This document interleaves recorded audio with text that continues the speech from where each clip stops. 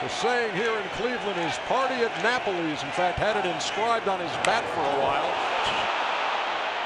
That ball was like 10 miles high and might hit the uh, Quicken Loans Arena where the NBA champion Cleveland Cavaliers play right across the street. Leave it there. I'll pick it up on the way home.